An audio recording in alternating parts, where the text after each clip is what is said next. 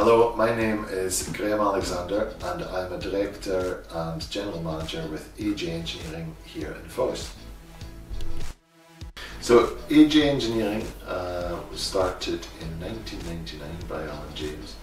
So the company's been running 22, 23 years now.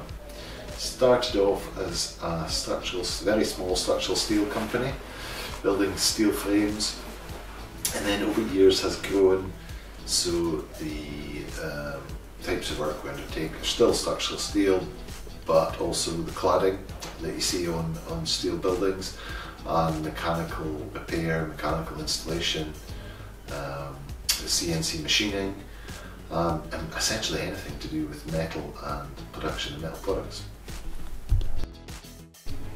So a company like AJ Engineering, we employ people with lots of different skills. Obviously in the workshop we have steel fabricators and welders. On the sites we have steel erectors and those that install cladding and also mechanical fitters, mechanical installers.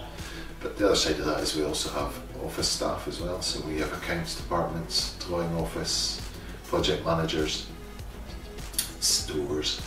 Um, so yeah, it isn't just fabricator welders, but obviously that's they're the they're the ones that produce the items that we sell. So we have a large number of them. We employ either directly or through apprenticeships. So we either take on skilled um, individuals who've served their time or learned their skills somewhere else, or we take on apprentices and trainees and we train them up. Um, and over the years, many, many apprentices um, and the, the, numbers vary depending, but we always take someone every year. Um, so we have individuals here who have been with us since they were 16, 17 years old, uh, served their time and then became experienced welders, fabricators, some are now project managers. We have other individuals who would have served their time with other similar companies and uh, we've taken them on at a later date.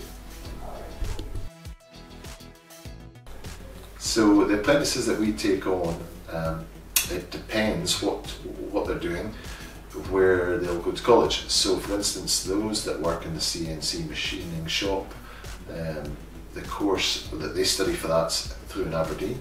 So that tends to be, they'll go for a week or two weeks at a time at college and then back into the workshop. Um, the fabricator welders, they tend to do perhaps release through college, which might be a Thursday. Um, in Elgin, sometimes it's Inverness, does depend.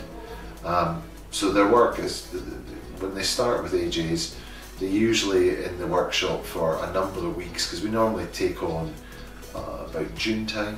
So through the summer they're working in the workshop along with some of our time served uh, fabricate welders and then when the college starts in September time then they'll start their, their days at college and when they're not at college they're, they're back in the workshop working alongside uh, qualified and trained tradesmen uh, learning the skills in the shop and then getting that backed up with the theoretical uh, knowledge from the college.